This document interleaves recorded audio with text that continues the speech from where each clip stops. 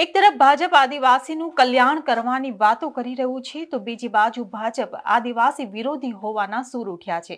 ત્યારે છોટા ઉદેપુરમાં ભાજપનું વધુ એક કૌભાંડ સામે આવ્યું છે, જેમાં કોંગ્રેસ નેતા દ્વારા ભાજપ પર આદિવાસી મહિલા સભ્ય પાસે પચાસ લાખની લાંચ માંગી હોવાનો આરોપ લગાવાયો છે. શું છે સમગ્ર મામલો? વાત કરીશું આ વિડીયોમાં. નમસ્કાર, હું હિરલ પરમાર અને આપ જોઈ રહ્યા છો નિર્ભય ન્યૂઝ.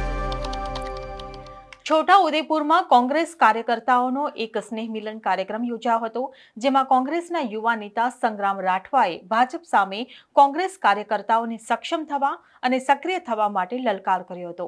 ભાજપ સામે ઝૂકીને ચાપલોસી કરવા નહીં, પરંતુ ભાજપ સામે લડવાનો હુંકાર કર્યો હતો. જુઓ સૌથી પહેલા કોંગ્રેસના યુવા નેતા સંગ્રામ રાઠવાનો કોંગ્રેસ કાર્યકર્તાઓને અપાયેલો હુંકાર. હું આપને કહું, ભાજપમાં મેન્ડેટ આપવાનો હતો ડેરીમાં.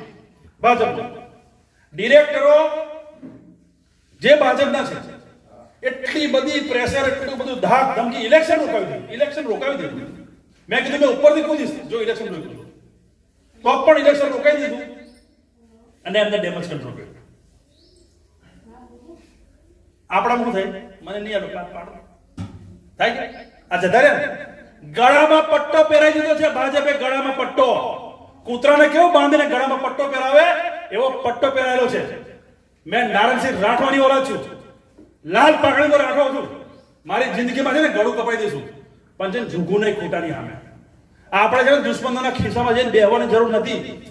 તઈ બેહીને ગળામાં પટ્ટો મળે ભૂખ ભૂખ, એટલે ભૂખવાનું. એ કોંગ્રેસમાં નથી. કોંગ્રેસ એ છે જેને બ્રિટિશોને નહાડ્યા કોંગ્રેસ એ છે જેને ગુંડાગર્દી બહાર કાઢી. કોંગ્રેસ એ છે જેને દેશની આઝાદી કરાઈ. એમના બાપના વડલાઓ નતા દેશ આઝાદ કરવા. આપણા ગાંધી બાપુએ રાજીવ ગાંધીએ ઇન્દિરા ગાંધીએ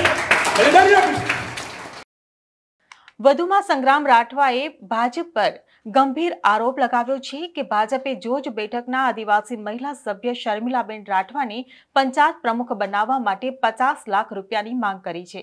પરંતુ તેઓ ગરીબ હોવાને કારણે પૈસા આપી ન શક્યા અને મલકાબેન, કે જેમણે જોજ બેઠક પર અઢી વર્ષ શાસન કર્યું, છતાં તેમને ભાજપ દ્વારા પચાસ લાખ રૂપિયા લઈને રિપીટ કર્યા હોવાનો સંગ્રામ રાઠવાએ આક્ષેપ કર્યો છે. સાંભળો વધુમાં સંગ્રામ રાઠવાએ શું કહ્યું. ભાજપની અંદર, સાંભળી લેજો તમે આજે બેઠા છો એટલે કહું છું. ભાજપની જિલ્લા પંચાયત પ્રમુખ મલકાબેન પટેલ છે.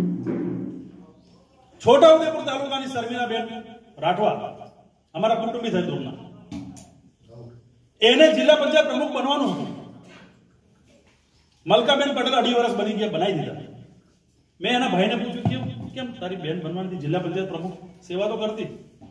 સંગ્રામભાઈ પચાસ લાખ રૂપિયા માંગ્યા. અમે ગરીબ માણસ ક્યાંથી લાવવાના? તમે કીધું, આટલા મોટા ભાજપ પાર્ટીની વાત કરે, તો હોદ્દો લેવા માટે બી પૈસા આપવાના. તમે વિચાર તો કરો.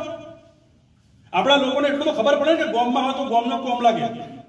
હે? જિલ્લા પંચાયત હોય, તાલુકા પંચાયત હોય. આજે સરપંચ બિચારા. પેલો સોમભાઈ રાઠવા સાહેબ આપણો ઉમેશ, મજબૂત સરપંચ. કેમ એને થઈ જઈને બોલવું પડ્યું?